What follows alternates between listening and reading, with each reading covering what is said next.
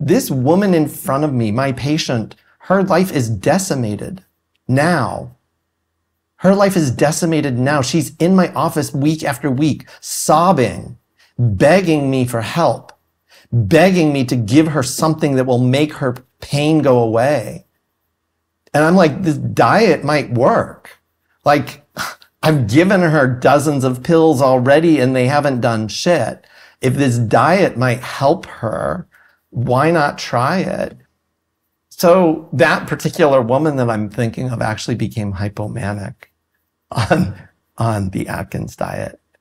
Meaning it took her from a super dark place to she was very excited, very happy. She was Isn't so she was a little too happy. because I've read your book, I know where this is going, and I've been meaning to ask you about that. So, just to give people markers, so you were struggling and you were in a depressive state. You start coming out of it, but for other reasons, when you get diagnosed with um, the metabolic disorder, it ends up even clearing that up even more. So you start trying it on yourself, you try it on other people in your family, you try it on patients. It's working for a lot of them. I don't know if it worked for everybody, but it works for a lot of them. Yep. We don't yet understand exactly what the mechanism of action is, but then since I know from reading the book that there are people, there are cells that are under firing and there are cells that are over firing. If it moves people from under firing into over firing, how do we know this is a good thing? Like, isn't isn't becoming hypomanic a sign that we actually haven't solved the fundamental problem? It is. So at the end of the day, I am arguing that all mental disorders, and we may need to get into defining what is a mental disorder, hmm. but I'm arguing all mental disorders are metabolic disorders of the brain. And as you just said, what that means, it, it can mean a lot of different things depending on the developmental age of the person. So a fetus growing in utero is going to have different consequences than an adult who might have different consequences than a very elderly person who is 10 years from death.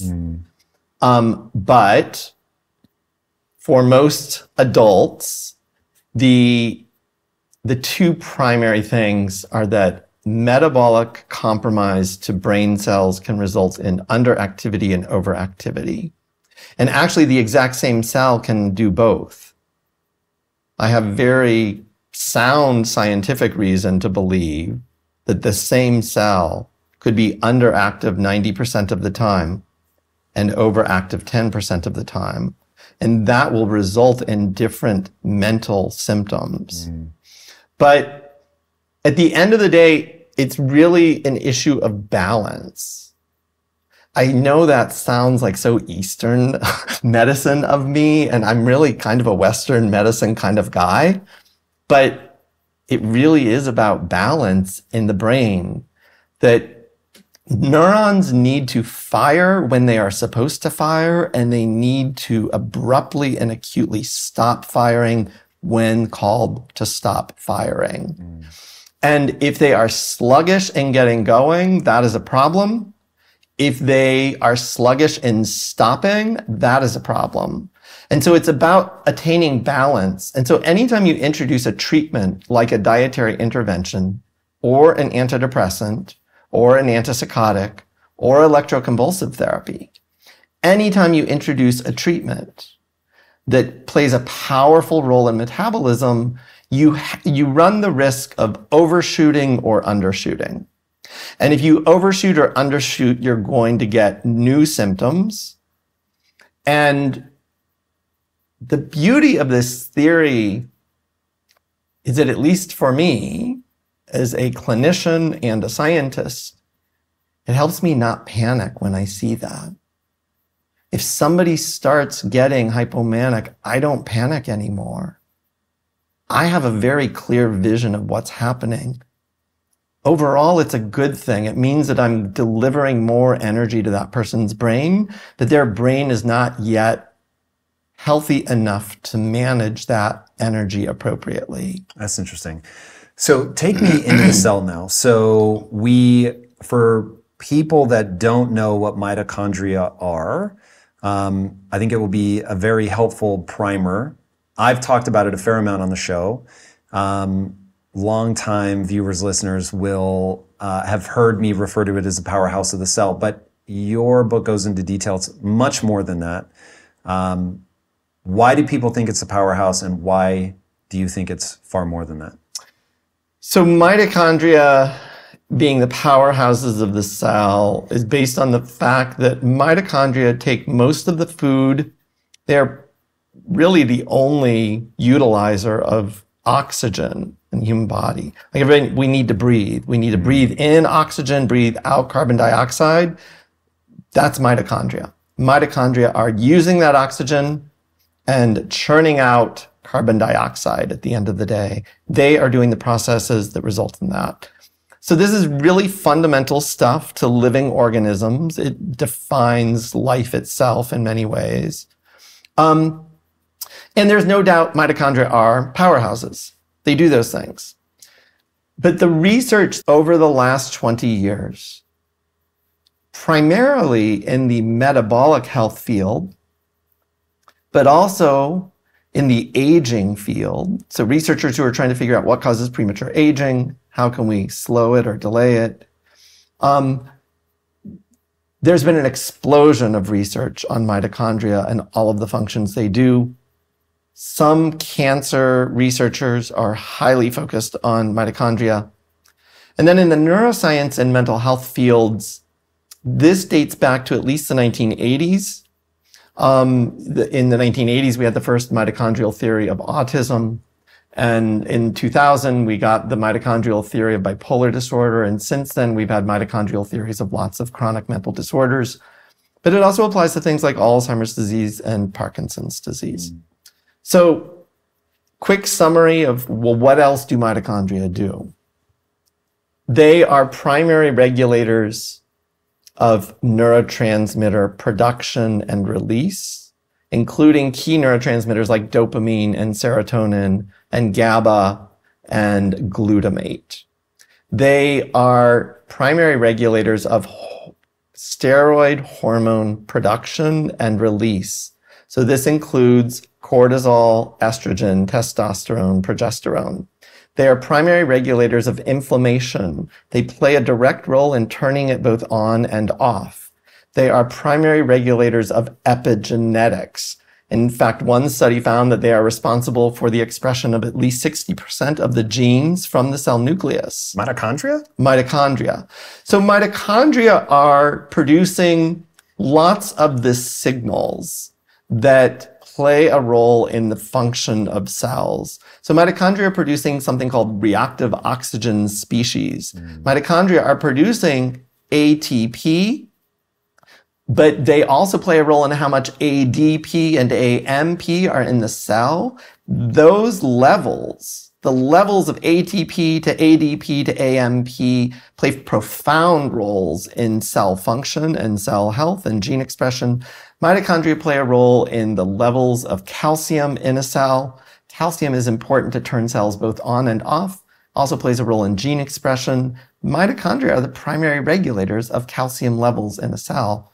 Yeah. So, uh, first of all, this is so Sorry. such a radical. no, no, no. I'm getting is, too nerdy. This is incredible. We're actually going to keep going deep, but I, I, I had never heard anybody talk about mitochondria as being that multidimensional before, and I've really looked into this stuff.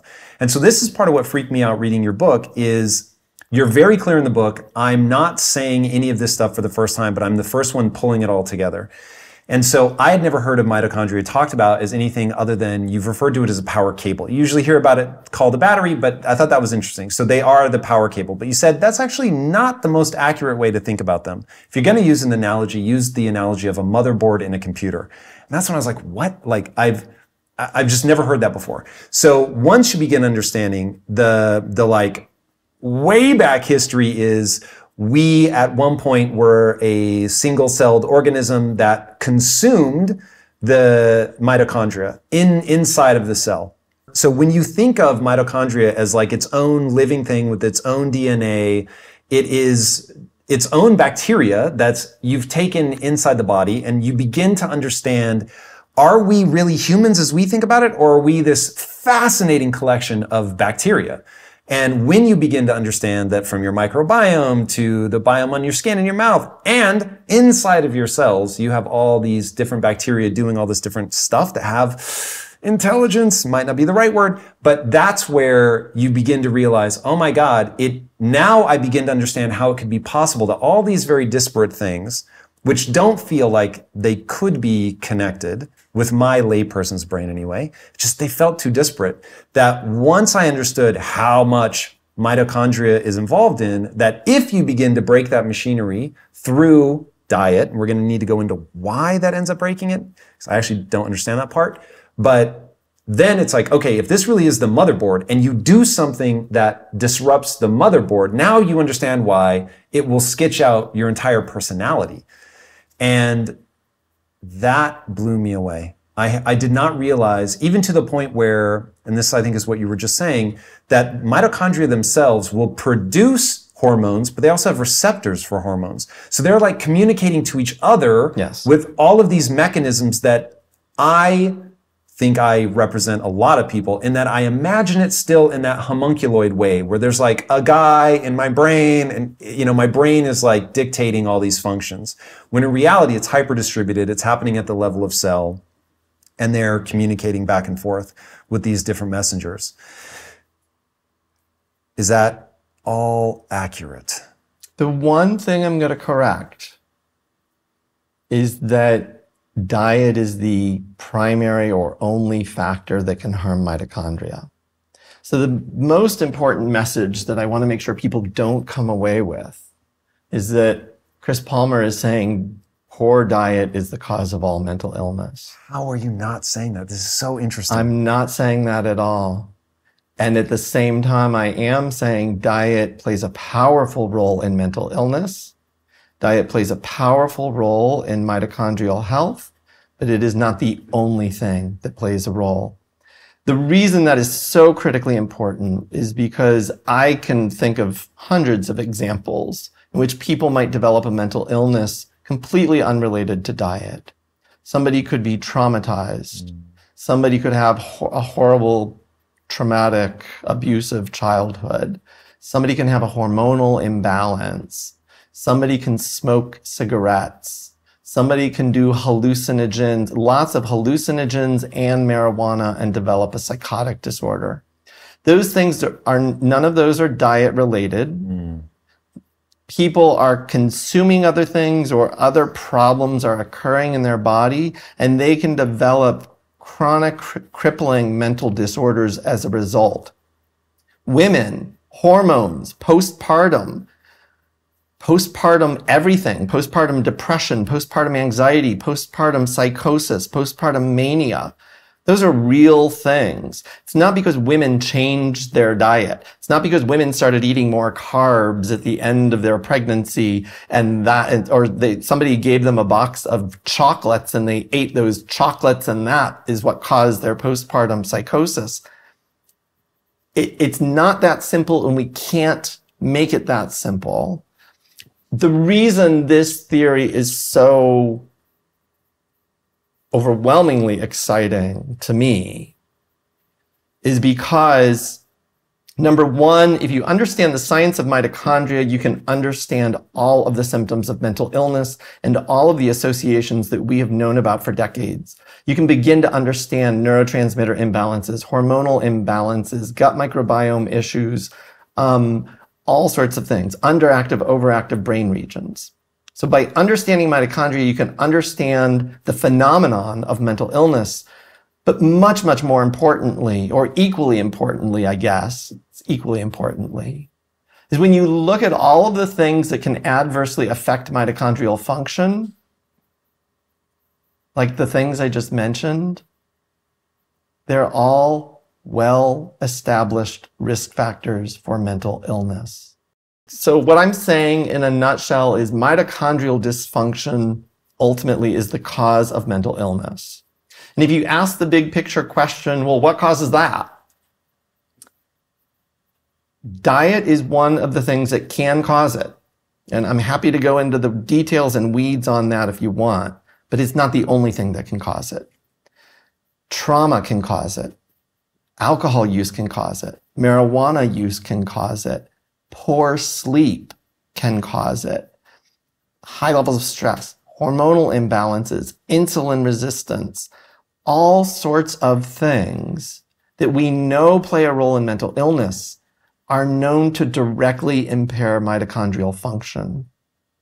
And that can result in all of the metabolic and mental disorders that we know of. So if you, you, you can take any one of those risk factors, childhood trauma, people who have a lot of trauma in childhood are more likely to develop a mental disorder. Which one? All of them. All of them.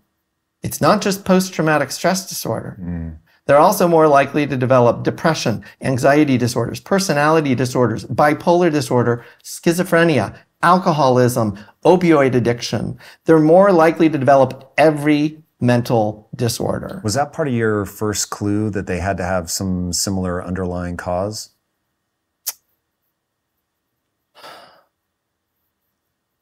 It, it wasn't the first clue. This was kind of like as I as I dove deeper, you know, in order to create this theory, I had to dive really deep into cell biology and mitochondria and mitochondrial function and all of the cutting edge research that's going on with them. But at the same time, I had to go out and see the forest from the trees and test my hypotheses, test my theory. I had to like make it work. And it, trust me, I didn't do it overnight. The, the first iteration did not make sense the first iteration, I quickly found flaws in the way I was thinking about it, flaws in the theory. But I kept going back to the, not to the drawing board, but I kept going back to refine it. Well, let me see if I can understand this in a different way. Let me see if I can add just one level of complexity to the theory to make everything fit. What was some of the first roadblocks that you ran into? You know, the biggest roadblock that I ran into initially was the fact that psychiatric medications, many of them cause metabolic harm. We have lots of pills that we use that cause massive weight gain. But they work. Is that why it was a conundrum? They cause diabetes, they cause cardiovascular disease, and they reduce symptoms of mental illness. Mm. And when I when I recognized that, I quickly recognized nobody's going to believe this. This theory is crap. It's dead. There, there's no way I can responsibly make this claim given that the pills we give are causing metabolic problems. That doesn't make sense. Because I'm not going to go down the rabbit hole of conspiracy theorists and say all the trials are fraudulent. None of the medicines actually work. Because as a clinician, I know that's not true. I've seen the medications work. Mm-hmm. I have used them and I have seen them work. And yet, as I'm developing this theory, I have to be able to explain, well, then why would a metabolic toxin or a mitochondrial toxin, which some of our medications are, why would that reduce symptoms? And that is what ultimately led me to refine and understand these two dichotomous states of metabolically compromised cells, both underactive and overactive. Mm. So one cell, when it's metabolically compromised, requires energy to work. And if it doesn't have enough energy, it's not going to work as well. That's the underactivity. Most people get that. If a car doesn't have enough energy, it's just not going to go as fast, or it may not go at all, or Maybe parts of it won't work. Underactive functions all make sense. The hyperexcitability, hyperactivity did not make sense initially. But as I began to understand all of the complex roles of mitochondria, the fact that they are sequestering calcium to turn the cell off, and that if they fail to do that in an efficient manner, that cell will become hyper excitable. That was the thing that blew my mind that really got to the heart of it. But again, I, so I didn't stop there. I then step back and say, let's see the forest from the trees. Test your theory, Chris. Test your theory. You should be able to test it with common sense, already established observations. If that's really true, if that's really true, think of all of the situations you can think of in which mitochondrial function is abruptly impaired. And then ask yourself, are those situations associated with brain hyperexcitability? Meaning, does it increase your risk for a seizure? And lo and behold, it works. Oxygen deprivation can cause seizures. Carbon monoxide poisoning. Carbon monoxide poison, oxygen deprivation are very specific assaults to mitochondria because mitochondria are the only things using oxygen. Mm.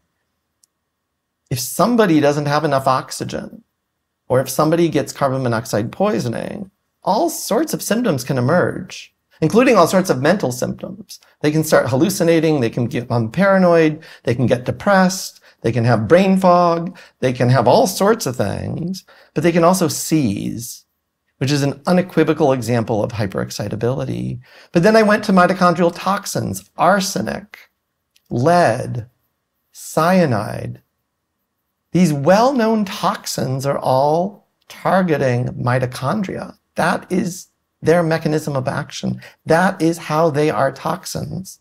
The truth is, hitting your career goals is not easy. You have to be willing to go the extra mile to stand out and do hard things better than anybody else. But there are 10 steps I want to take you through that will 100x your efficiency so you can crush your goals and get back more time into your day. You'll not only get control of your time, you'll learn how to use that momentum to take on your next big goal. To help you do this, I've created a list of the 10 most impactful things that any high achiever needs to dominate. And you can download it for free by clicking the link in today's description. All right, my friend, back to today's episode. And if you look at the consequences of poisoning with those, seizures are a possible consequence. So once again, acute poisoning of mitochondria can result in hyperexcitability of the brain. I could go on and on and on, but needless to say, I didn't go into this lightly. So I did my best to test this theory in every which way I could with available evidence to see does it even fit? Like i'm i'm presenting a picture. That's the way i think about a theory. So the way i think about developing a theory is that every research study is a piece of the puzzle. The puzzle has to create a picture a coherent picture that makes sense it has to and the reason it has to is because humans exist. We exist and we have flaws and we have mental illness and we have mental health and we have all of it. The fact that it's working tells me there must be a coherent explanation and it's our job to figure it out. So in my mind, creating a theory is about taking all of the relevant research that we have, all of the studies that are all pieces of the puzzle, and just putting them together. But what I've had to do is rearrange some.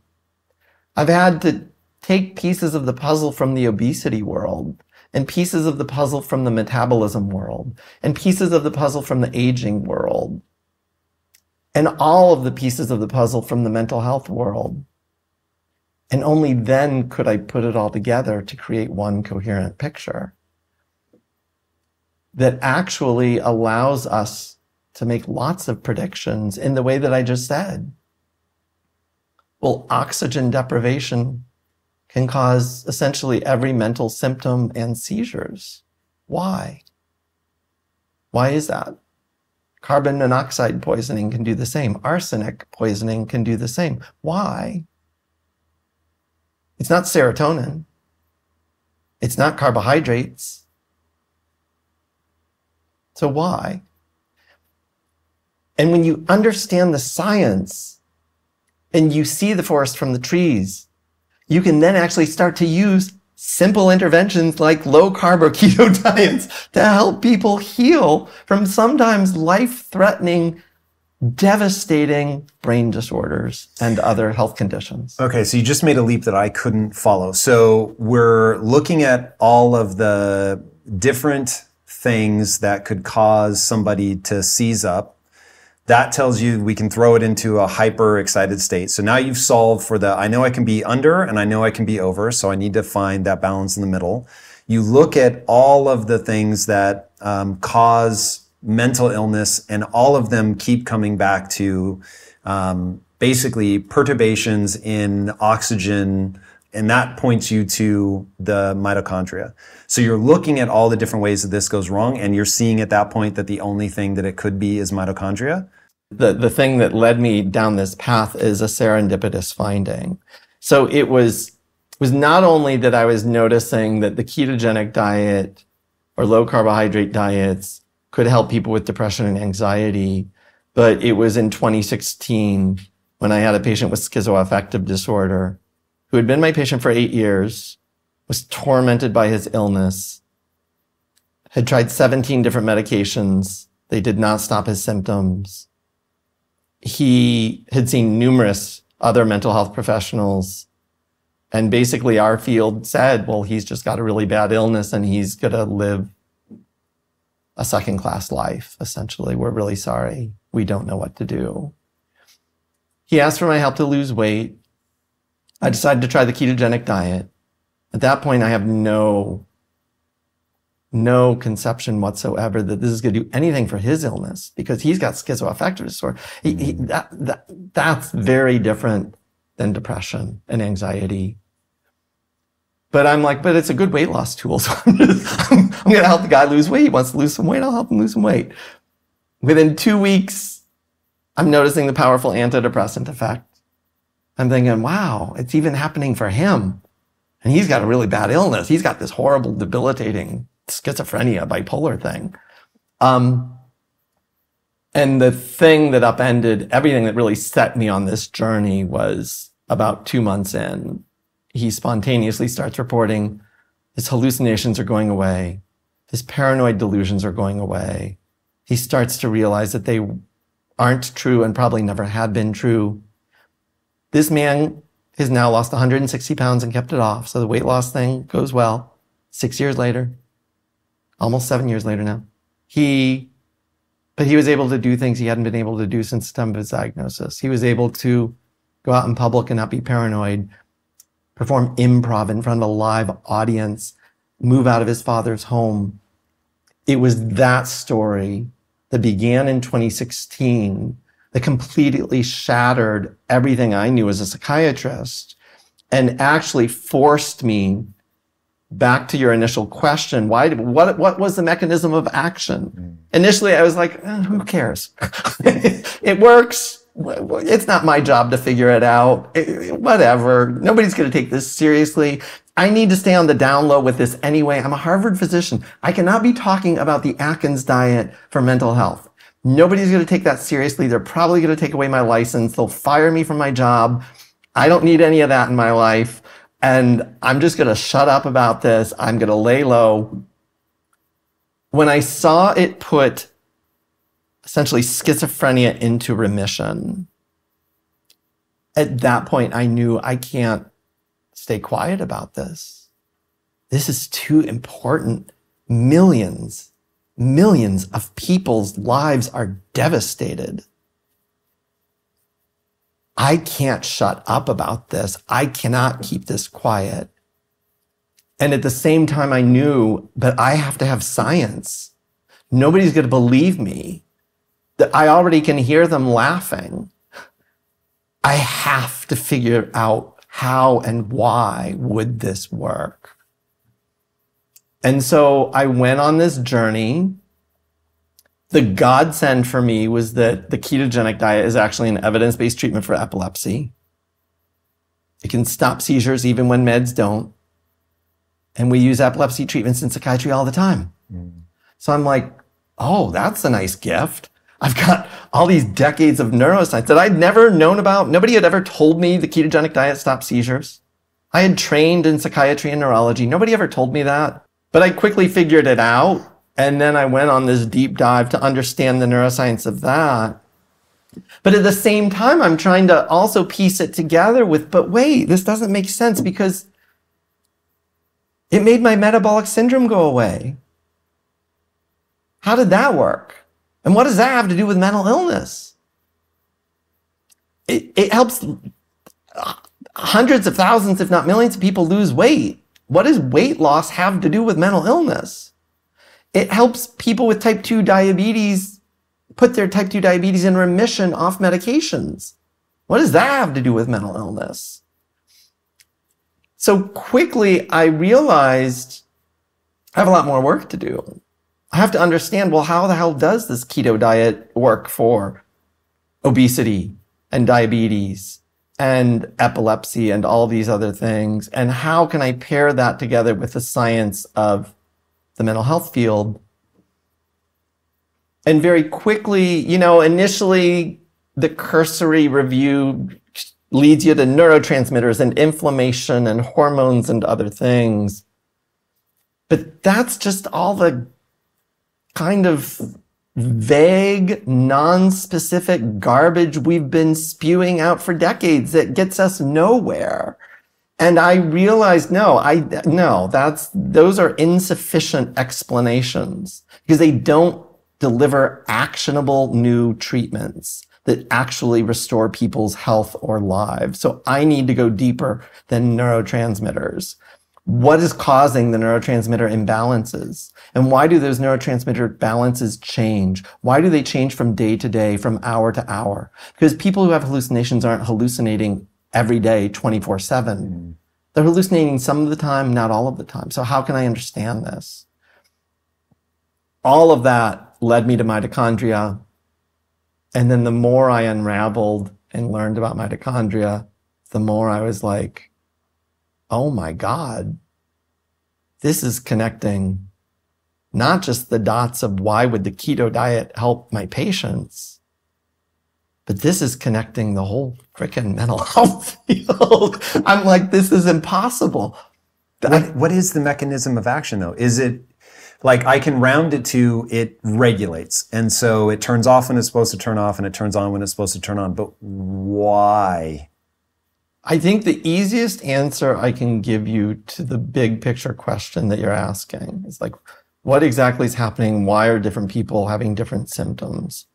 Um, the first thing I want to say is if this sounds like too much of a leap for people, I just want to point out type 2 diabetes is supposed to be one and one distinct illness. Some people with type 2 diabetes get by just fine with diet and exercise and otherwise don't have any unrel- uh, otherwise related health conditions. Other people at the extreme end with type 2 diabetes not only have their type 2 diabetes, for which they take massive doses of insulin to try to control their still uncontrolled blood sugars, but they're also having heart attacks, brain problems, eye problems, nerve problems, gastrointestinal problems, liver problems, kidney problems, and all sorts of problems. And we know all of those things are related to type 2 diabetes.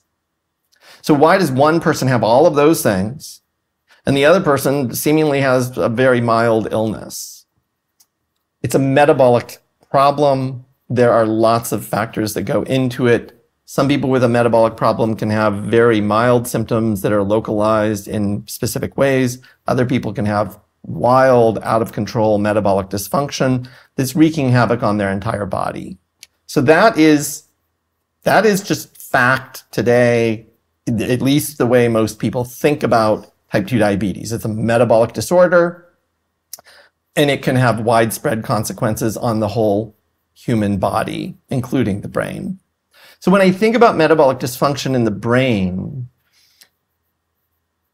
what I'm really thinking of uh, uh, is specific brain cells or brain circuits that either have insufficient mitochondria or the mitochondria that are there are somehow defective. Mm. And for people with chronic mental disorders, it is one of those two things. insufficient mitochondria and or defective mitochondria that are not performing their tasks. And what that means is that those brain cells or that those brain circuits are then going to become underactive or overactive, which can then result in symptoms that we call mental illness. The environment, however, plays a role. So you have these cells that are vulnerable. That's the way I think about them. These are vulnerable cells. They're not dead. They're still alive. They're still trying to do what they can do, but they're malfunctioning intermittently. So what would make the, them malfunction more? And what would allow them to function normally? The beauty of this theory, again, is let's just look at all the risk factors for symptom exacerbations of mental illness. If a person is eating a good diet, well rested, non stressed, symptoms are going to be low or absent because the demands on those cells aren't great and or there are lots of available resources because this person is not stressed. As soon as you apply a metabolic stress to this human being in the form of, I'll give three, but there are lots of others, sleep deprivation, really crappy diet, and or um, high levels of stress or trauma. As soon as you do that, those are all assaults on metabolism broadly not just the brain. So if somebody already had a heart attack last year, they are at higher risk of having another heart attack when they are sleep deprived, when they experience high levels of stress or trauma, or when their diet is way off.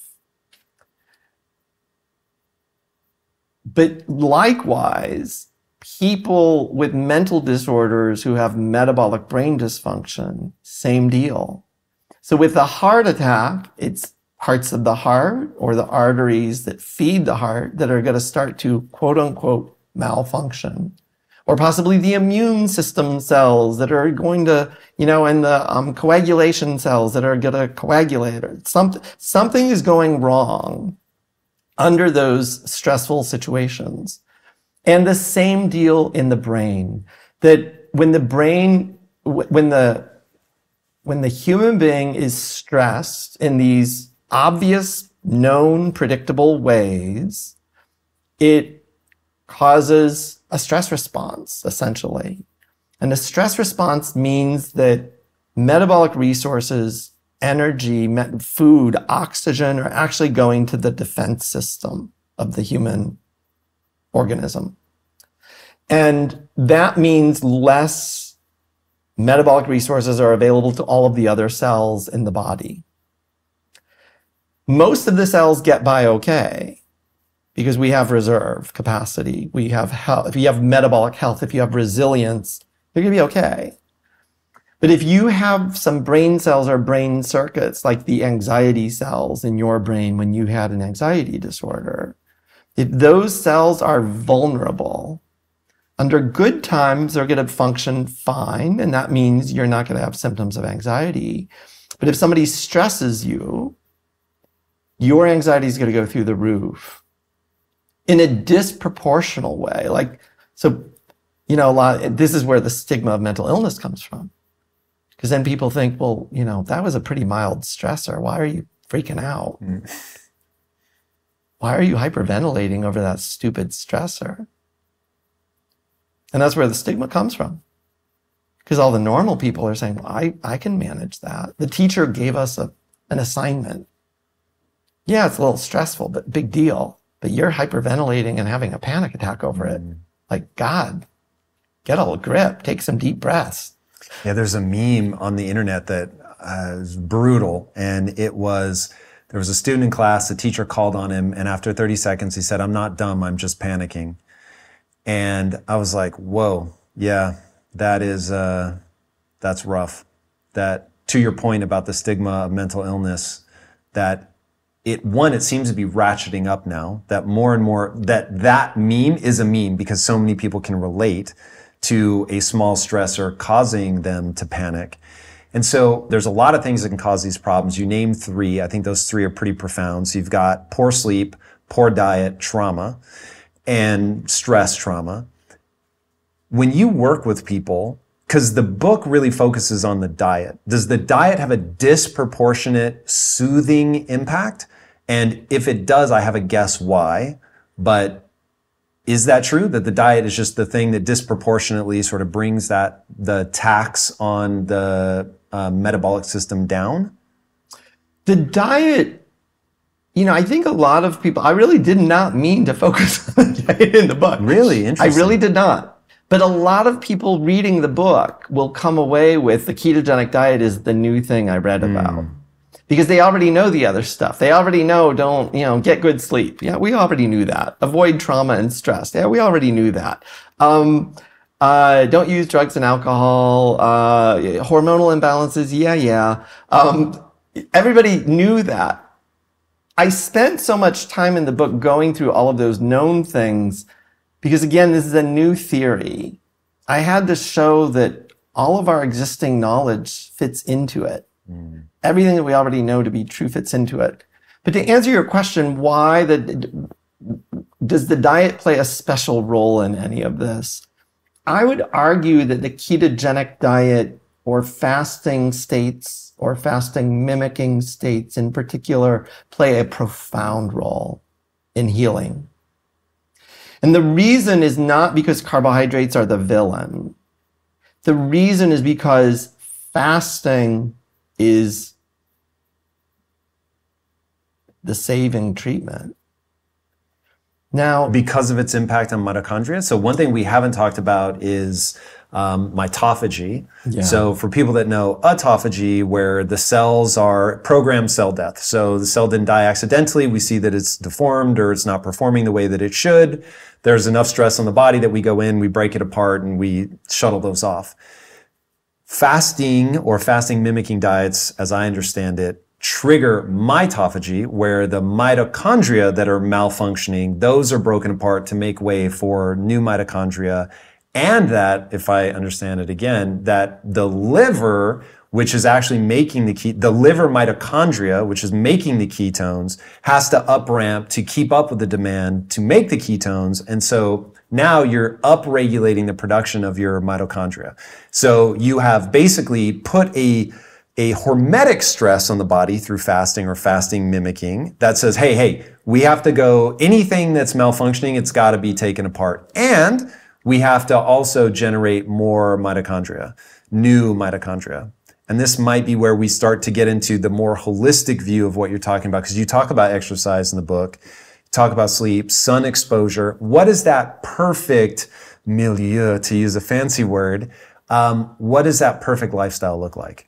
What is up, my friend? Tom Bilyeu here, and I have a big question to ask you. How would you rate your level of personal discipline on a scale of 1 to 10? If your answer is anything less than a 10, I've got something cool for you. And let me tell you right now discipline, by its very nature, means compelling yourself to do difficult things that are stressful, boring, which is what kills most people, or possibly scary or even painful. Now, here is the thing achieving huge goals and stretching to reach your potential requires you to do those challenging, stressful things and to stick with them even when it gets boring, and it will get boring. Building your levels of personal discipline is not easy, but let me tell you, it pays off. In fact, I will tell you, you're never going to achieve anything meaningful unless you develop discipline. All right, I've just released a class from Impact Theory University called how to build ironclad discipline that teaches you the process of building yourself up in this area so that you can push yourself to do the hard things that greatness is going to require of you. All right, click the link on the screen, register for this class right now, and let's get to work. I will see you inside this workshop from Impact Theory University. Until then, my friends, be legendary. Peace out. it's all the common sense things that people know, with the exception of a fasting mimicking diet. So, you know, again, the medical field right now says that's dangerous and reckless, and uh, Jillian Michaels doesn't like it. uh, so, lots of people hate the ketogenic diet. Lots of people in society hear that it's dangerous and toxic. Um, but all of the other things, that milieu, is all the common sense things that people already know. And one of the pieces of feedback that I've been getting since the book came out from people is I'm already doing all of that, Dr. Palmer. And I went on your keto diet and I'm not cured. So what's the deal? Mm. And when I talk to them, I say, okay, do you smoke cigarettes or vape? Well, yeah. Do you drink alcohol? Well, yeah. Do, do you take benzos or antipsychotic medications that impair your metabolism? Well, yeah, but my doctor prescribes them. How's your sleep? Oh, well, I can't sleep. That's the problem. I, it's not that I'm not trying to sleep. I'm, I'm trying to sleep, but I'm not sleeping because I can't sleep. So I take more pills, but they don't always work. And then I say, so you really think you're doing my treatment when, when like all of these basic common sense milieu, common sense lifestyle strategies that I've already outlined in the book and why they are all harmful mm. And why they are going to prevent you from recovering. You're not doing any of them because you, because what? You thought the keto diet was going to be the f- cure all?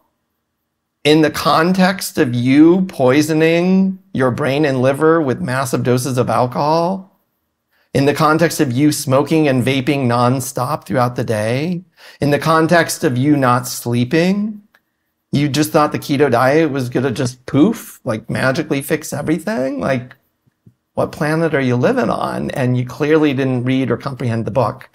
And so it's unfortunate because I know people are desperate and people want quick fixes. And people want simple answers. They want what, but just the one thing, Dr. Palmer, tell me the one thing that I need to do to cure my schizophrenia. And the point I have tried so hard to make in the book, you can get better. You can get rid of your schizophrenia. I really authentically believe that. You can get rid of your depression. You can get rid of your anxiety. You really can. I'm not lying. I'm not making it up. I have seen it countless times. I know it works. I know it can work. But if you're looking for a one size fits all simple solution, just do the keto diet for three months and that'll fix you up. It's not that simple. Does that mean I'm saying it's super complicated and impossible? No. You can think about your sleep. You can think about removing all the toxins that you're putting into your body. You can think about stress reduction practices. You can think about, you know, all of those things, maybe spending some time outside or spending some time with human beings instead of always on your screen. You can think about these other things. It's not going to be news you're going to have heard it a million times, but if you're not doing it, you're not doing the treatment. Yeah. Everybody does want the very simple answer, there's no doubt. And the good thing about your theory, though, is at least it draws a connection between all of this. There's only one thing that you have to address. It's just you have to address it in a dozen different ways. Talk to me about autism. This is one of the more interesting sort of side comments that I've heard you make. And my real question is can you reverse autism or is it just avoidable from somebody getting it? Because you said, depending on when you encounter the metabolic distress that warps your uh, mitochondria, it will have pretty profoundly different effects. So if you have disturbed mitochondria as a kid or in utero, that's going to play out in your brain development. Yes. How like when when autism first people started saying like oh diet can impact it. It was like man people coming after you with billy clubs even for bringing it up. So I, i'm not sure where the current state of the art is like how crazy a question that is but is this something that can go into remission or is it just here's how you avoid somebody getting it in the first place yeah, it's a really important question. And I've had some critics come out with that particular example. Because, again, they're taking away the simple message Dr. Palmer is saying that poor diet is causing all mental illness. Mm. And that's why I kind of inserted, no, that's not what I'm saying. And autism is the perfect example of this. So autism is a neurodevelopmental disorder that occurs either in utero or early in life. Some children, infants, appear to be perfectly neurotypical early in life, for like the first year or two. They get an infection, for instance, and within three months of that serious infection, start showing signs of autism spectrum disorder. Mm. Um, so, and and we have clear ways to understand all of that. So a lot of people are going to say, well, what does this have to do with metabolism or mitochondria? So the first thing I want to point out is I am not at all the first to be claiming that me- metabolism and mitochondria play a direct role in the cause of autism spectrum disorders. The first mitochondrial theory of autism dates back to 1985. Whoa. So this is, I, I do not at all try to claim credit for the other pioneering researchers who've done this. Researchers have looked at the brains of people with autism spectrum disorders and have noticed all sorts of metabolic and mitochondrial problems. Low levels of ATP in brain cells, higher levels of brain inflammation, higher levels of reactive oxygen species, other things. So all of those point to, wait, this is a metabolic or a mitochondrial problem. For those who don't know, rates of autism have skyrocketed in the last 40 years. Over the last 20 years, rates have tripled. Whoa. 20 years, triple the rate of autism. A lot of people are like, well, that can't possibly be true. Well, the researchers who are studying it and the people who are doing the household surveys are saying it's true. So either keep your head in the sand and be in denial about it or open your eyes to this is happening. One of the global kind of observations that I just want to make that we haven't overtly stated is that we have a skyrocketing mental health crisis in the world. How do we know this isn't just an increase in diagnosis and it's always been this way and we're just now diagnosing it more? The, because I think the primary source of information would be looking at um, looking at the household surveys where researchers funded primarily by the United States government go door to door to a random sample of households throughout the United States, ask the people who answer the door a, a series of long lists of questions about mental health conditions and make estimates of how many people are suffering from different mental disorders. And the rates are increasing. Hmm. They're particularly increasing in the young population a, a, a much harder met kind of variable that is indisputable is the rate of death from mental illness, which we probably, the, the most comprehensive figure that we have is something called the deaths of despair, which includes suicides, but also overdoses on drugs and alcohol. Mm. That rate has doubled over the last 20 years. God damn. In the population. That's really brutal. The rate has doubled. People aren't faking their deaths. They're not whining and complaining. So there's a lot of skepticism about mental health because there's no objective tests and everybody thinks, oh, oh, everybody thinks they've got autism these days. Everybody's just complaining about being autistic because they want sympathy. Well, guess what, folks? The rates are really skyrocketing and we can't keep our heads in the sand. So how can we understand that in the context of the brain energy theory? If the brain energy theory is really true, how can we understand that? Mm. Um, and what I would say is I will share a couple of observations, but the, the most important ones. Women who are giving, who are pregnant, if they are obese and also have poorly controlled diabetes, such as gestational diabetes, they have a three to four fold increased risk of having an autistic child. Whoa. If you are a man with obesity compared to a man who is healthy weight, the obese man has double the risk of having an autistic child. Whoa. So people are asking this question where the hell is all this autism coming from? Hmm. That's impossible. Hmm. Autism is supposed to be genetic. Well, look at statistics like that. Look at some common sense observations. Is obesity increasing in our population right now? Are the rates of diabetes increasing in our population right now? Does this apply to childbearing women? Does this apply to men who are about to become fathers? So to get very clear and concrete with my theory, so people who are overweight or diabetic are more likely to have autistic children. Why? Why? What I'm arguing is that people who are overweight or diabetic have a mitochondrial problem. They have a metabolic problem somewhere in their brain or body. That is what is causing their obesity, and that is what is causing their diabetes or their insulin resistance. That obesity and diabetes are symptoms. Obesity and diabetes are not causes, they are symptoms. They are symptoms of metabolic derangement somewhere in the body or brain. And that means that these people already have a mitochondrial problem somewhere in their body or brain. That mitochondrial problem is getting transferred to their gametes. Those gametes are going on to create a child. That child is at higher risk.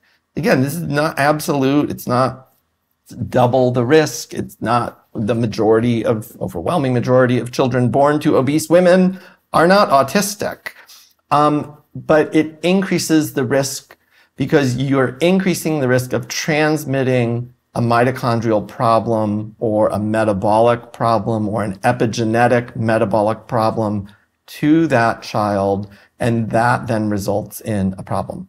The other strong possibility, so that's gametes and maybe some epigenetic signals, but the other strong possibility in particular with the women, because the women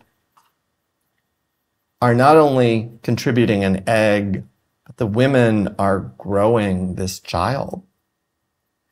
And that means that the women's hormones play a role in the growth and development and neurodevelopment of this child. Mm-hmm. That means a woman's stress levels play a role. That means a woman's diet is playing a role levels of glucose in her bloodstream are getting into that fetus. That is affecting that fetus's development. So to, to go back to your other question, so can we fix autism?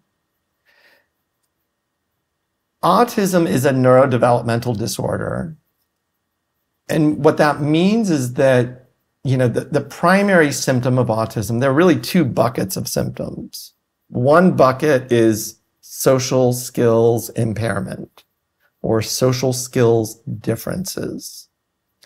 Um, that people who are autistic relate to other humans in a different way.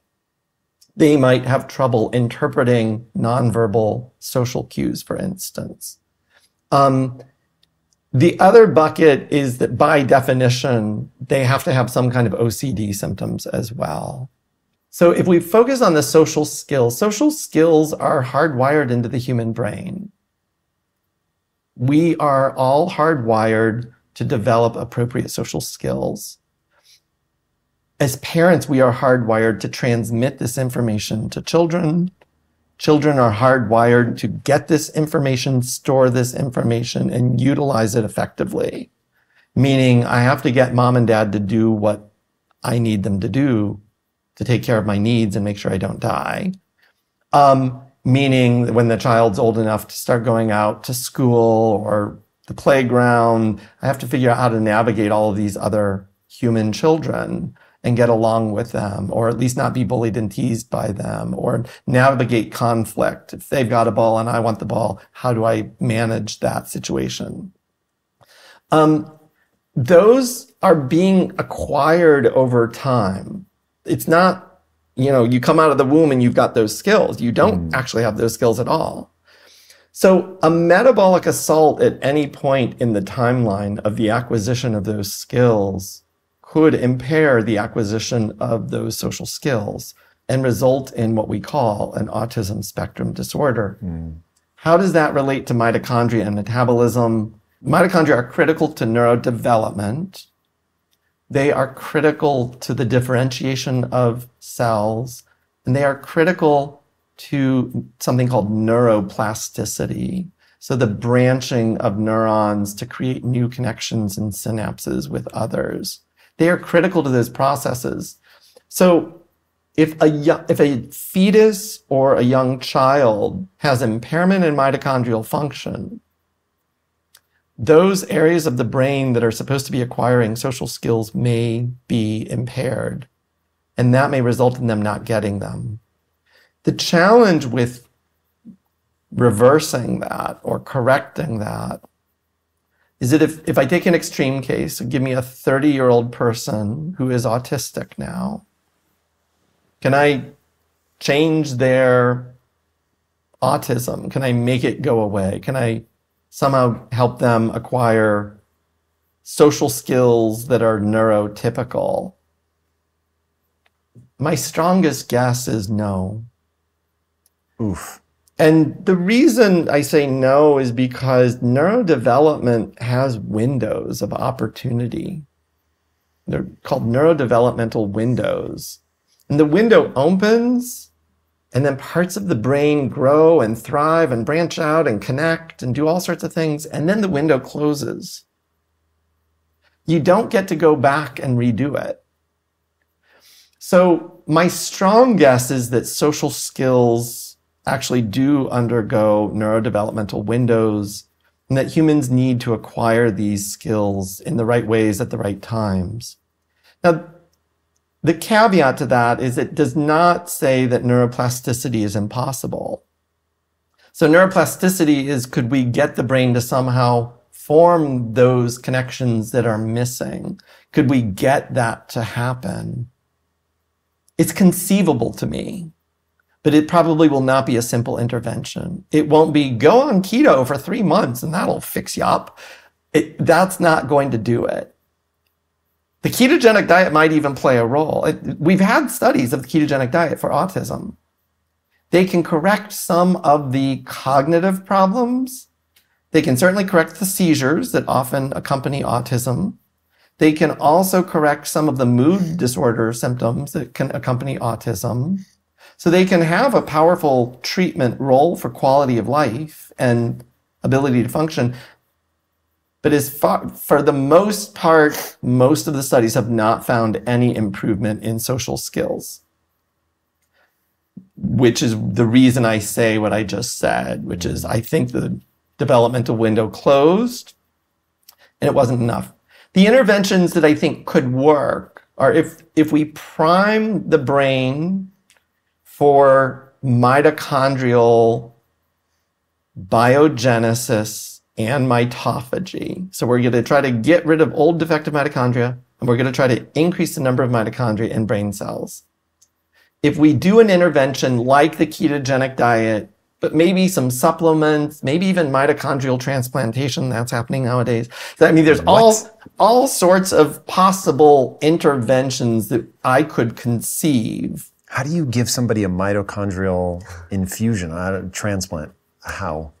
That um, researchers are working on it. They're, Is this an IV drip? An they're injection? primarily Like, they're primarily focused on people with very rare mitochondrial disorders. Uh-huh. The challenge with mitochondrial transplantation is you have to get the mitochondria in the right cells in the right way. Exactly. So, so most people have heard of stem cell transplants. Yep.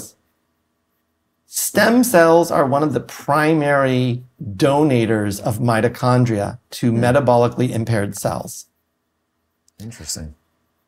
Everybody thinks stem cells are all about, oh, you get a brand new cell and it'll just replace the bad defective cell. Stem cells are actually going around connecting, creating these little nanotubes with other cells, metabolically compromised cells, and transferring healthy mitochondria into these defective cells. Hmm. That is one of the primary roles of stem cells. So, so it could be stem cell transplantation to spread some healthy mitochondria around. So there are ways to do it. So back to autism. If I do this intervention, I'm priming the human brain, the human body for neuroplasticity. Let's rev up mito, mitochondrial biogenesis. Let's rev up mitophagy. I would rather, and I, you know, I would much rather use it do it using natural methods like a diet or exercise or something else as opposed to injecting stem cells in one location. And the reason is because the body is really good at healing itself. We just need to give it a chance. It knows what to do. If we inject stem cells into like a specific part of the brain, maybe those stem cells are needed there, but maybe they're needed somewhere else that we don't even know about. Also, if you don't fix a problem, it's just going to revert back. Uh, yeah. But so if we do this neuroplasticity kind of priming treatment, at the exact same time, we have to deliver the training for social skills. This human being would need intensive immersion on how to interact in a neurotypical way. Right because social skills are both about biology and brain circuits, but also about the acquisition of those skills. Somebody has to teach that human being really interesting. Yeah. those skills. So we know this from like Romanian orphans. Romanian orphans were probably born relatively healthy for the most part but they were left in cribs, never picked up, never touched by other humans. And many of them had horrible, horrible neuropsychiatric outcomes as a result. Um, and all sorts of neurological problems, but all sorts of mental disorders as well, including autism. Dramatically higher rates of autism, and I don't think about that as, well, they had a mitochondrial problem from mom and dad. Mm. Or maybe those parents who gave their kids up for adoption were all overweight or diabetic. That's not the way I'm thinking about it. The parents gave the child up for adoption. That child probably had a chance at a normal life and normal neurodevelopment, but because they were so neglected and so maltreated and not given the ability to learn how to be human, they did not. I think that's it though, because that feels like it would be the world's most stressful environment. So going back to your earlier statement, that it's not just going to be diet. There's going to be a whole host of things. Because I've heard you talk about this before, and the orphans at some point start banging their heads against their crib just to feel something. No one's touching them. That is an unimaginable amount of stress, especially since I know about the whole idea of failure to thrive, where if you don't touch and cuddle and love an infant, it may just die. Yeah. So Lisa Feldman Barrett said something to me which I thought was utterly fascinating. We have a nature that requires nurture. Because she was like, you have to stop trying to tease these two things apart. Like they are just inextricably connected and hearing about the Romanian orphans, that was the first thing that came to mind, which is uh, the amount of dysfunction you're going to get when you have biology that's screaming out for interaction. That hey, I am programmed to learn through this interaction, touch, love, affection, cues, close up, your face, my face. I do this, you respond in this way, and cool. Now my brain wires in. I've got it. Like I've figured all this out.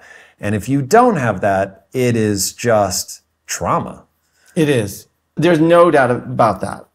Trauma is a huge part of it, and stress is a huge part of it. When an infant is screaming at the top of his or her lungs, it is highly stressful when they are not picked up. Mm. It is highly stressful to that infant. stressful to everybody else around too, um, or on an airplane. Um, but uh, so there's no question that those children had massive trauma, massive stress responses, and probably malnourishment and all sorts of other things that were playing a role in their neurodevelopment. We do have research, though. Some people hate this research, especially animal rights people, but there is research on monkeys that supports what I've said. That researchers took groups of monkeys, fed them normally, but deprived them of maternal love and support and um, and all sorts of problems ensued.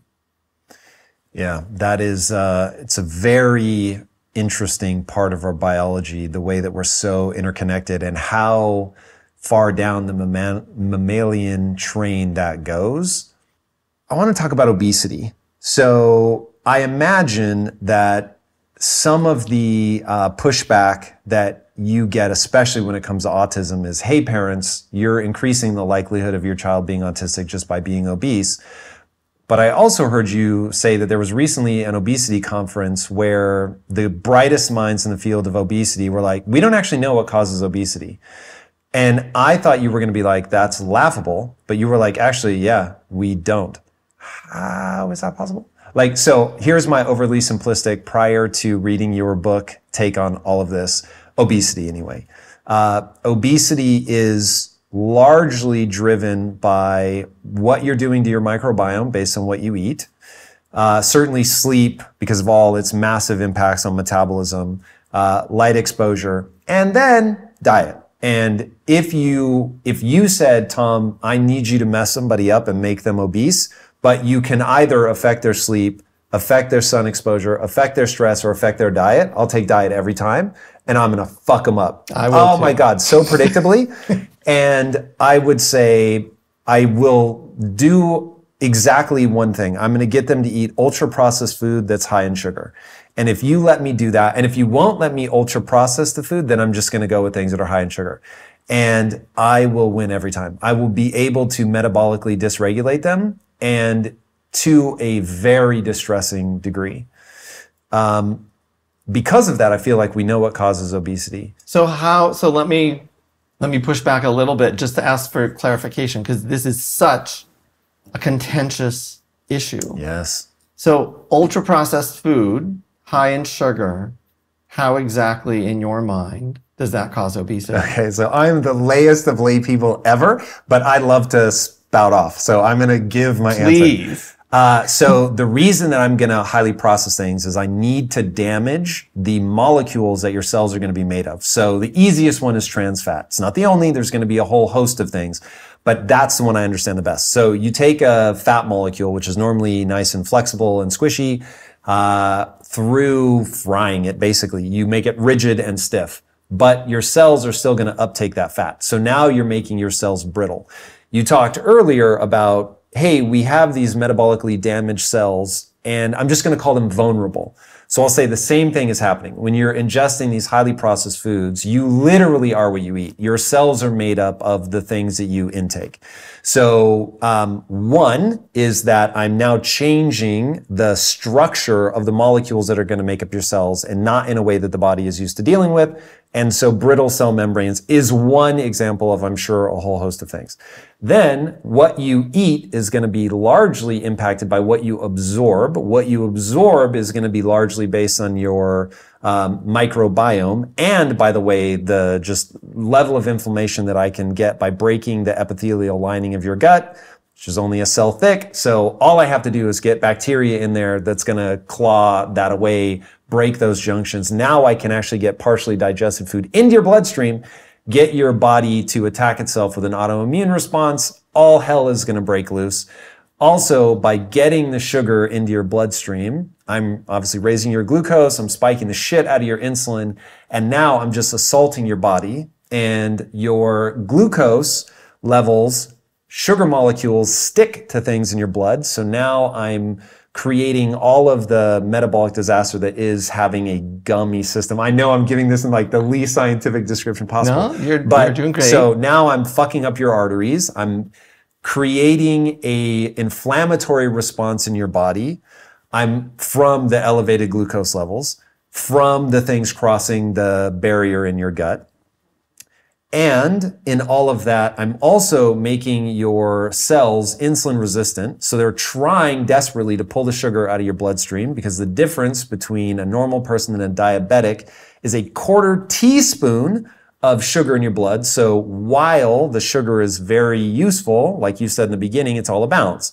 If you have too little sugar, you're going to have seizures and you're dead. If you have too much sugar, you basically burn alive from the inside.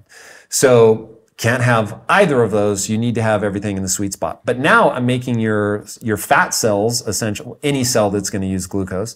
I'm making it insulin resistant. So insulin is trying to get the sugar into those cells, but the cell's like, fuck off. Like there's just too much. So now it's staying in my bloodstream. All the things that people know about a type 2 diabetic where they're losing their eyesights because the sugar is basically burning the eye to pieces, losing their limbs. You get neuropathy of the nerve endings. They can't even feel the fact that they're effectively getting necrosis of their limbs and they end up having to be cut off. So while I get that I'm not giving that from a scientific standpoint, it's, you can demolish the body pretty fast just by spiking glucose now because I know that the calorie in, calorie out people are in the comments right now just lighting me on fire. I will say that yes, if you have somebody reduce their calories enough, even if they're eating sugar, uh, they won't manifest all of the symptoms as quickly, but I still think they're going to be metabolically dysregulated. I'm going to guess, and this is a guess, that I could still real, especially somebody developing, I can fuck up their brain even by reducing their calories. So they're not getting fat, but I can completely disrupt their um, the appropriate functioning of the brain by just inundating them with trash when they're a kid, even if I'm keeping their calorie count low. I don't think that obesity is the only sign that something is going wrong. I think that obesity is probably adaptive in that your body's just like, fine, fuck, like I'll pull this all out of the bloodstream. I will cram it into your fat cells. Uh, and so getting obese, you might be better off getting obese, it might actually delay some of the symptoms of a bad diet. So that is why I feel like it is way complicated. I understand that. And I am grossly oversimplifying. But because if I want to mess you up, I really only need the lever of your diet. At some point to me, it's like, I, I get in the purest of pure ways. We don't understand maybe the, all the mechanisms of action, but at a blunt force trauma, like if you just let me just give me control of sugar and I will completely ruin somebody or get them healthier. I, there's so many micro things that we would also need to take care of. I get I can't completely solve all the problems. But man, if you let me control sugar, I'm going to go a long way. And if you let me control processed and sugar, I've got you covered, I think. I don't disagree at all with anything you said, anything you just said. I also don't disagree with the solution. Get rid of sugar, get rid of ultra processed. Um, I actually think in the way that you described, like these toxic fat molecules can be incorporated into your cell membrane. I think the real money is to focus on mitochondria. And I know people will call me a mitochondriac, or they will call me crazy, or they will think I'm obsessed. That's the real answer. Or they'll think I'm delusional, or whatever. The reason is because mitochondria actually control the regulation of blood glucose. Mm. That's so crazy. Hearing you talk about it, mitochondria basically does everything. Yeah. When I was developing this theory, I actually felt that way. And when I like started looking at what are different things that can poison the human body quickly, and what is their mechanism of action? What is their precise mechanism of action? I listed them before. Arsenic, cyanide, others, Tylenol poisoning. Like, what exactly is happening? All of those poisons target mitochondria. Hmm. Tylenol targets mitochondria? Tylenol targets mitochondria. Alcohol targets mitochondria.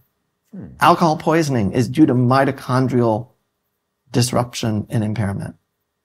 And so when somebody dies of alcohol poisoning, the cause of death is poisoning the mitochondria. Is it because they can no longer process oxygen?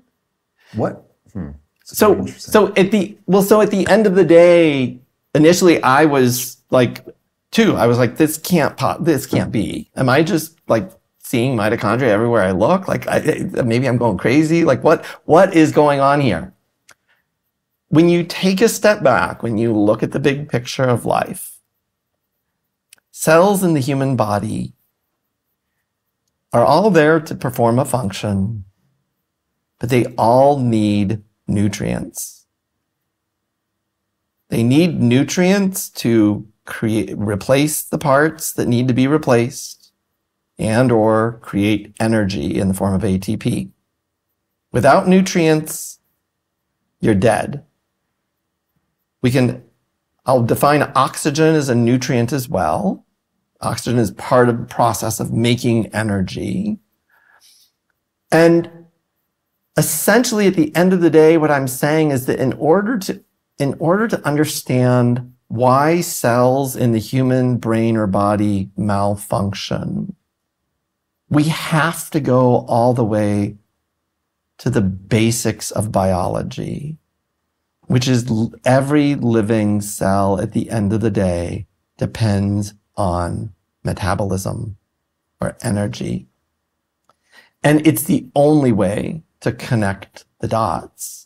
But like obesity researchers have zeroed in on mitochondria in specific brain circuits that control appetite and feeding behaviors. And they've looked at what causes those neurons to turn on or off. It's mitochondria.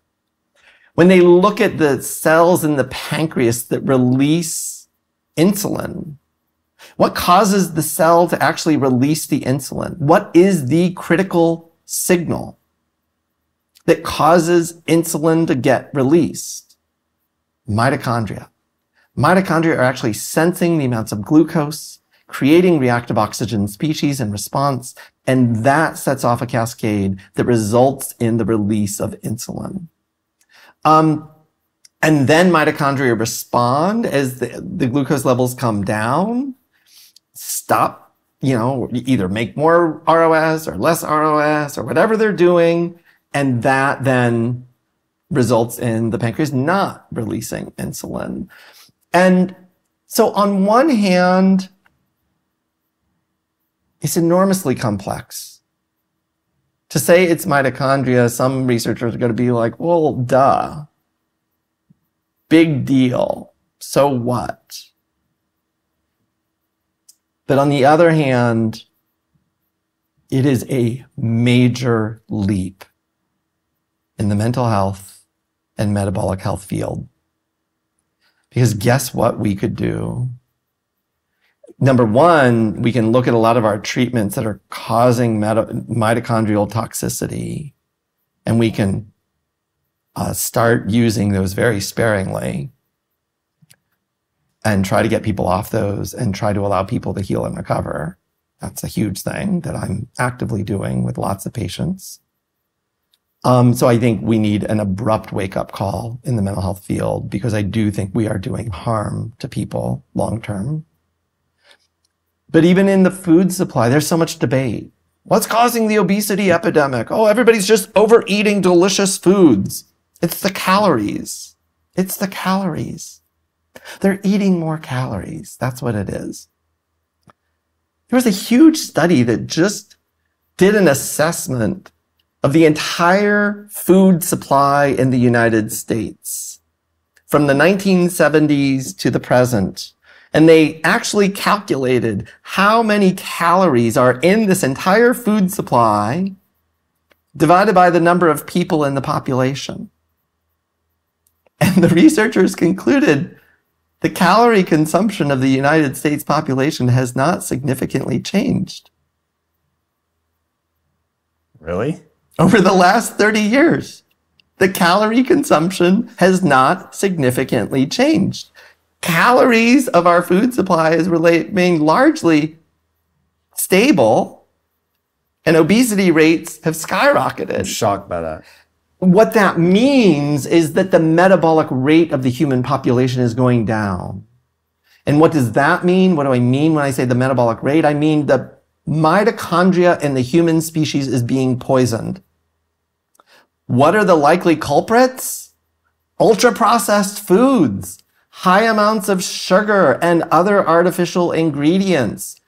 But we need to look at environmental toxins, the microplastics, and all of the environmental toxins, the forever chemicals that are accumulating in our fat cells and our brain cells. Mm. Like those might be poisoning mitochondria. Lots of small pilot studies have strongly suggested they are. And if we're poisoning the mitochondria, it means that the metabolic rate is going down. So yes, calories in, calories out, energy balance. Yeah, yeah, sure. If you're into physics and that means anything to you, sure, that still applies. But what I'm arguing is that the obesity epidemic is likely because the metabolic rate of the human species is being poisoned. That's really, really interesting. Uh, I want to push on that. So earlier we talked about that a cell could be either underactive or overactive. So why isn't that that metabolism can go either way? Either as it gets poisoned, it dials up, or as it gets poisoned, it dials down. Why is it only getting dialed down? Or am I missing something? And in some people, it really is going up. So the the going up and going down is not metabolic rate overall. So what I'm saying, what I'm arguing for the brain cells is that if you have let's say you only have 60% of the healthy mitochondria needed for a brain cell to function properly. 60%. So that cell, if we do a neuroimaging study on it, will have something that we call glucose hypometabolism meaning that it is not producing enough ATP from glucose, the primary energy source. Why? Because it doesn't have enough healthy mitochondria. And that could either be because the total number of mitochondria is decreased and or the number of healthy functional mitochondria has decreased. That cell will have insufficient ATP, low metabolic rate, lower metabolic rate, it doesn't have enough ATP. As a consequence of not having enough ATP, it can become underactive, which again is intuitive to most people. But at the same time, that 60% ATP cell can become hyperexcitable.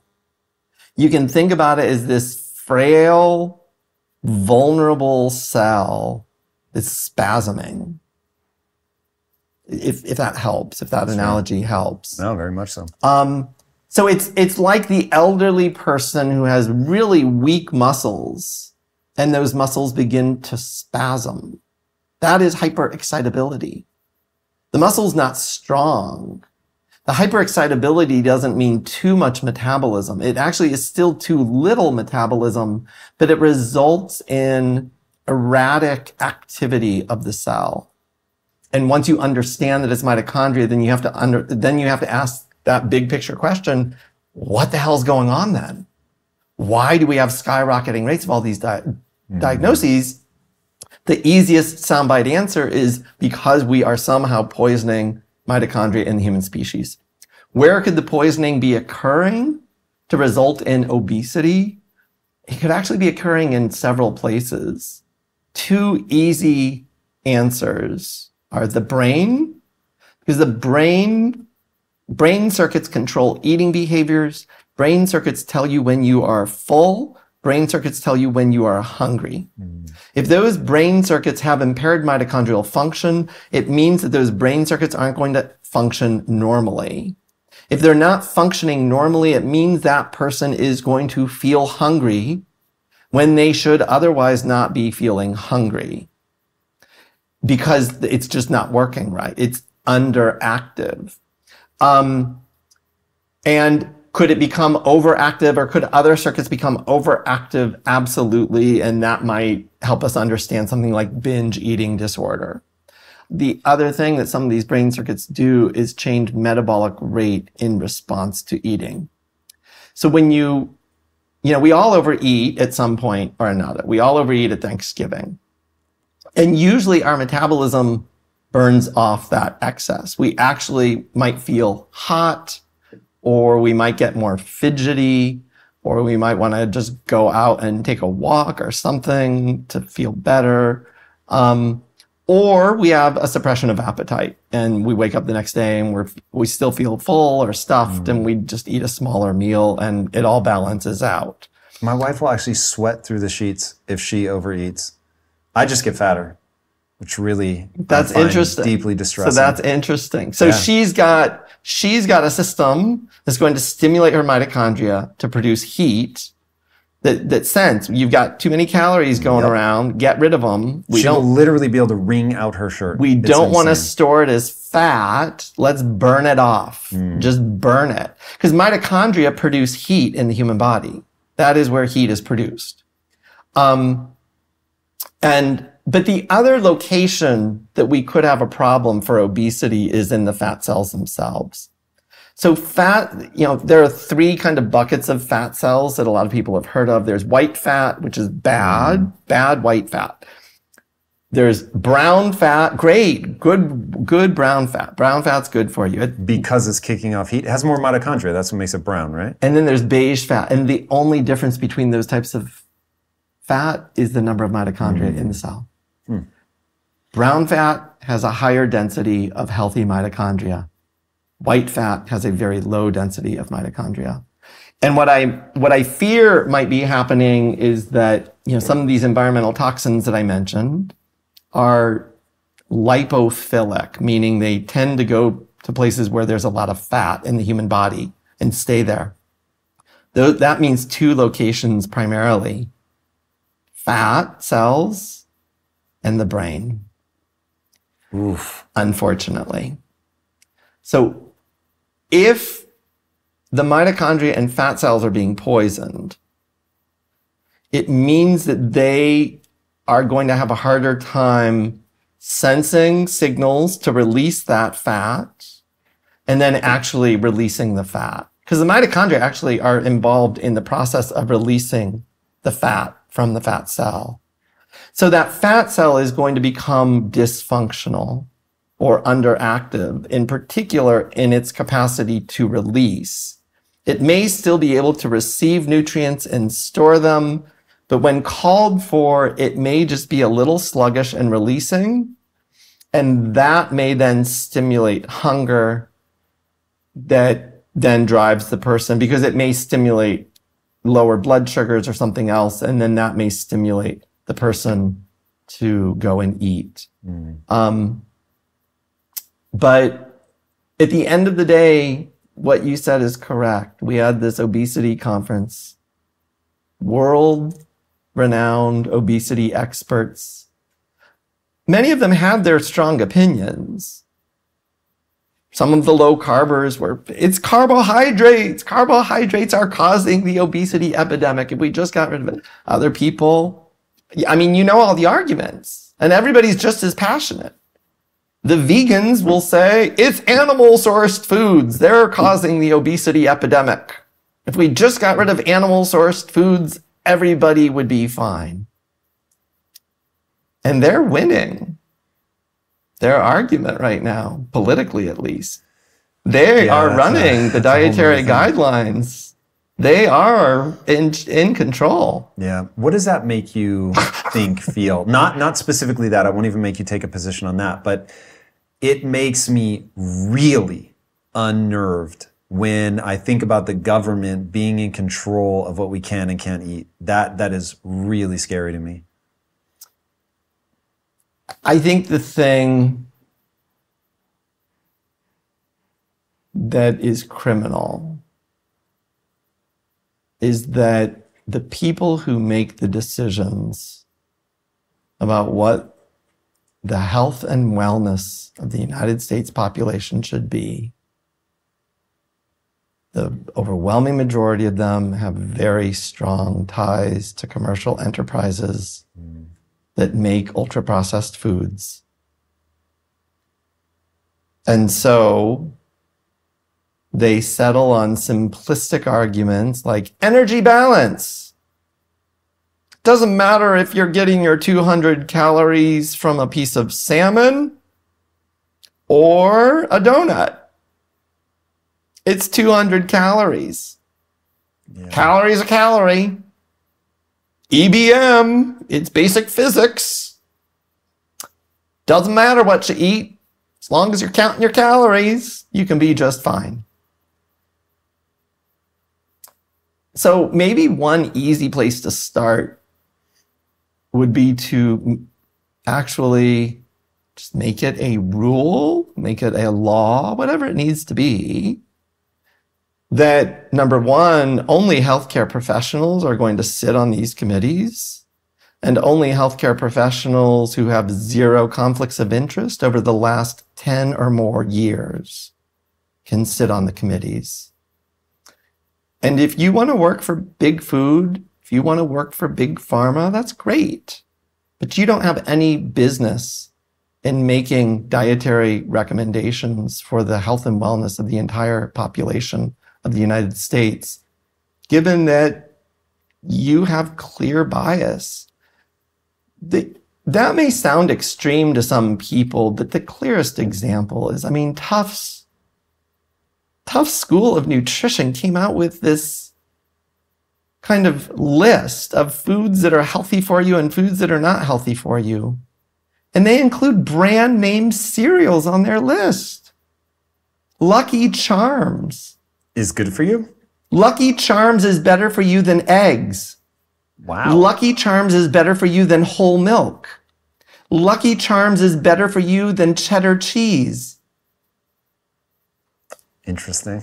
With dietary advice like that, it, is it really that surprising that we have an epidemic of obesity and diabetes and mental illness and other health problems in our population? I mean, I actually do believe that is criminal. It's not criminal for those people to make money off of big food and big pharma if they want to be consultants. Go ahead, do it. But you shouldn't be issuing guidelines as though they are unbiased guidelines. You just shouldn't. Brand name foods have no place in dietary guidelines and recommendations. They just don't. I, I don't, I, I mean, obviously it's infuriating. It's heartbreaking. I don't know how to get, I don't know how we get through to the politicians that need to make those decisions. Let's start by telling them what is your breakdown of a good ketogenic diet? So for somebody that struggles, whether it's anxiety, depression, schizophrenia, obviously see your doctor. Obviously don't stop taking your meds without medical supervision, all of that. But how do you do that particular diet well? So it really depends on the condition that I'm treating. I, I don't, I know this is frustrating for some people. Again, people want one size fits all solutions. So you gotta be able to be flexible and modifiable. As a rule of thumb, rule number one is exactly what you've already said. Get rid of the shit food. Hmm. Have real whole foods. Foods that our great grandparents heard of and consumed. If your great grandparents did not hear of or consume this food thing, then don't eat it. If it comes in a box with fancy packaging and a, a, a plastic insert, it's probably not on the healthy food list. Um, you know, great grandparents could have been consuming Coca Cola that had cocaine, and so no, don't drink that. so it's not, you know, again, we've got all, all sorts of exceptions to the rules. I'm going to say, um, but eat real whole food. Start there. For some people, that's enough, and I really mean that. For some people, that's all they have to do. They can, they don't have to be counting calories. They don't have to be managing carbohydrates or protein or anything else. They just get rid of all the junk eat real food. I mean, that's the whole paleo, you know, or, you know, other kind of food dietary movements that what they're based on is let's just eat real food. And for some people, that's enough. If you then want to restrict carbohydrates, start to get rid of all grains, flours. Through all of this, I should have said, get rid of all sugar. Mm. Sugar artificial sugar, sugars, artificial sweeteners. I'm now, based on one animal study, I am now going to say get rid of artificial sweeteners. So one animal study came out in one of the Nature magazines, Nature journals uh, recently, showing that aspartame, um, which is an artificial sweetener, can cause anxiety in mice and causes anxiety in mice. And then those mice can transmit that propensity for anxiety to their children. Jesus. Their children can per- transmit the propensity for higher rates of anxiety to their children. That's bananas. And the researchers used normal amounts of aspartame that a normal human being who's drinking lots of diet soda would consume. Yeah, we They were talking before. They weren't poisoning them with ridiculous, massive doses of aspartame. that was my big breakthrough with my anxiety was I was drinking Diet Monster, and I always feel bad throwing them under the bus because I love Diet Monster. I loved drinking it, but man, oh man, did it give me anxiety. So there you go. Yeah, as soon as I Um, cut it out, I'd say drop by seventy percent. Research Bananas. to support that. And, um, but unfortunately, it's resulting in epigenetic changes. that can persist. So, and again, but the good news, what's in charge of epigenetics? Mitochondria, primarily. How can, so can we do interventions that will influence them? Yes. So back to your question, what other diet? So get rid of all sugars, sweet things. You can still have fruit, everything else if you're doing a paleo diet. Um, you can have potatoes if you're doing a paleo diet. You can fry those potatoes in olive oil. You can have delicious foods. It's not like I'm saying you can't have delicious foods. You can have delicious foods. They won't taste delicious when you're giving up your ultra processed foods. They won't taste delicious when you're giving up your diet monster. They, they will, you'll be like, oh, but I'm hooked on my diet monster. I need my diet monster. And yet my anxiety's almost gone. Um, and then if you go to keto, you know, the first step for people with anxiety or depression is just get into any level of ketosis. Do blood monitoring, do urine strips, do something. Look for an objective biomarker of ketosis. I don't care what level you're at. See if that does the trick for you. It might. For some people, it does. For people that I work with who have serious chronic debilitating mental disorders like bipolar disorder or schizophrenia, I've universally found low levels of keto, like a ketogenic diet is not effective. That's what I've found. Maybe I'm wrong. Maybe I don't have enough of a sample population. Maybe there are people out there that would respond beautifully to low levels of ketones from a ketogenic diet what are you calling low? 0.5 to one? like less than one. Um, the so when I use this diet for people with serious mental disorders, I usually tell them I want blood ketones greater than 1.5. Ideally, I'm, I'm looking for 1.5 to like 4.5. Can they get there without caloric restriction? I have found to get north of one, I'm going to be restricting my calories. So the two strategies that you're going to use to get there are either caloric restriction and or well, or three strategies. And or carbohydrate restriction. So the more carbs you restrict, the more likely you'll be in mm-hmm. ketosis. And or higher fat. So you are a thin person. If you wanted to get ketones of 3.0, blood ketones of 3.0, mm-hmm. you would have to consume a very high fat diet. Mm. Um, whereas somebody who's obese does not need a lot of fat in their diet. Interesting. So part of it is that when people first start a ketogenic diet, they can get sky high ketones. Usually within weeks or months, they will come down. Is that because they get more efficient at using the ketone, so it's not as readily available in the blood?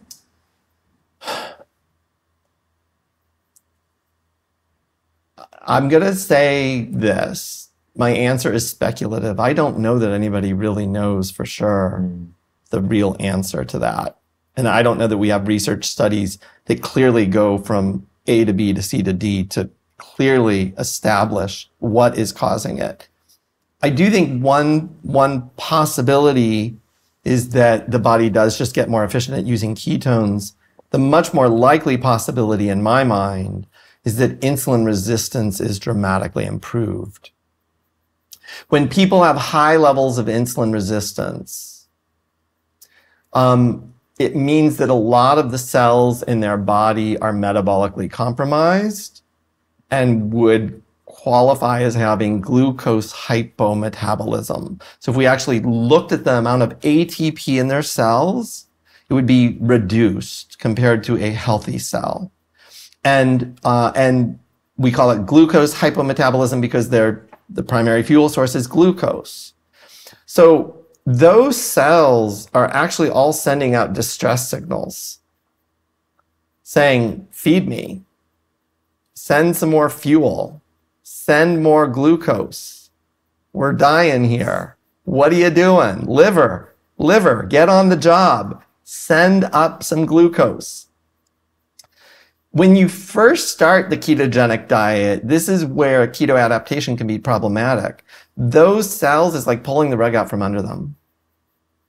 They're struggling already. And now you're plummeting your glucose levels and your insulin levels. Mm-hmm. And so those cells are really going to struggle after that. And that is the keto adaptation phase that a lot of people will say, oh, it's kind of bad for weight loss. When I use it in people with mental health conditions, I can see symptoms get worse before they get better. And it's all the way. It's depression can get worse, anxiety can get worse, psychosis can get worse. I know that now. I'm not going to be afraid of it. It's got to be managed safely. So that means with a clinician, like I know how to do that. I'm educating the patient. I'm talking with the patient. We're coming up with a safety plan.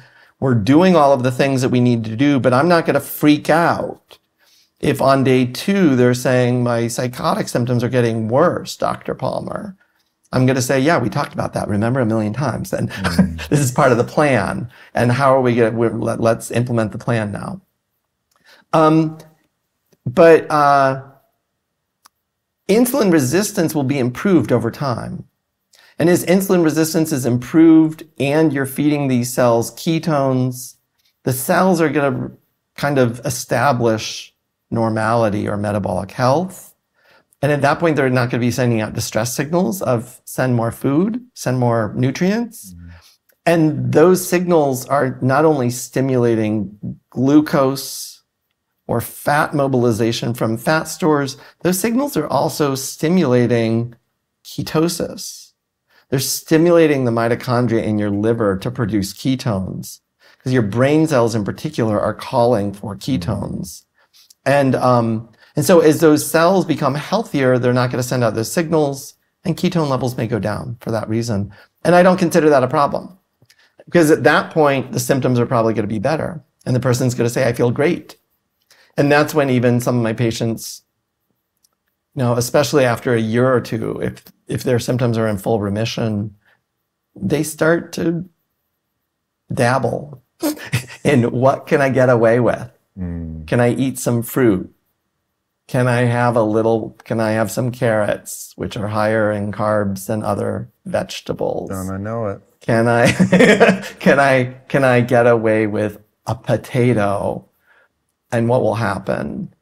And, um, and it's always just a work in progress. Mm. I mean, sometimes they can get away with it and we're like, that's great. And I see that as a huge celebration. Mm. It's like, wow, you're maintaining, you're achieving more metabolic health. Your brain and body are able to tolerate even more carbohydrates. You're not getting symptomatic. This is wonderful. And if their symptoms start coming back, it's like, well, it's too soon. Lifestyle makes such a difference, man. Where can people follow you to fine tune their own lifestyle? So the easiest place is brainenergy.com. Um, you can follow me on social media from there. You can sign up for a newsletter, all sorts of things. Click here now to learn the foods you need to avoid at all costs. Shall we drop acid? We're, we already did, right? we'll see where it takes us. I love the title of the new book. Not quite as much as I actually love the book itself, though, but the title sets us up. It really makes a subject